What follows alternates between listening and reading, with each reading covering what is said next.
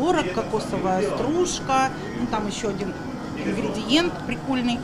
И он запекается, она очень вкусная, она реально по вкусу напоминает конфетки Рафаэла, только у тебя целая булка.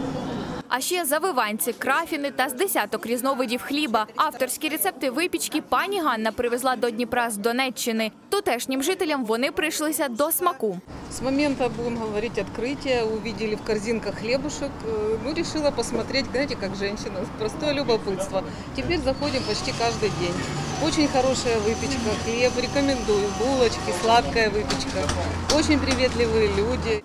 У Дніпрі власники пекарні починають життя з нуля вже вдруге. У 2014-му виїжджали з окупованої Горлівки, а цьогоріч з Торецька. Саме там і започаткували сімейний бізнес. Мы озадачились тем, что нам нужно как-то кормить детей, кормить семью, оплачивать квартиру. Во многих книгах говорят, что придумай, чем ты умеешь заниматься лучше всего, и попробуй с этого зарабатывать деньги.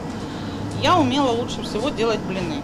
Спершу млинна, потім пекарня, кафе і магазин. На початку цього березня збиралися відкрити виробництво і в Северодонецьку. Навіть встигли завести обладнання. Та все знову зіпсував російський ворог. Під постійними обстрілами залишатися було небезпечно, тож вирішили виїжджати до Дніпра.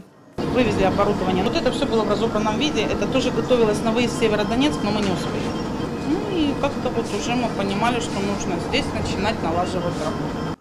Тут, як і в Торецьку, життя та роботу починають наново. Обходяться власними силами. До роботи став і син. Випікати хліб його навчила мама.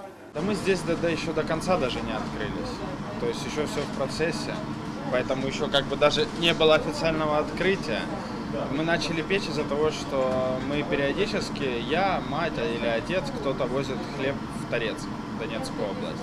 Потому что там у людей нету ни газа, свет периодически пропадает, воды нету, поэтому хлебзаводы там не работают. Сотню хлібин двічі на тиждень родина возить до Турецька. У планах відкрити мережу пекарень по Дніпру. Тут кажуть, зустріли добре. З'явилося відчуття дому. Родина дуже сподівається, що звідси втікати не доведеться.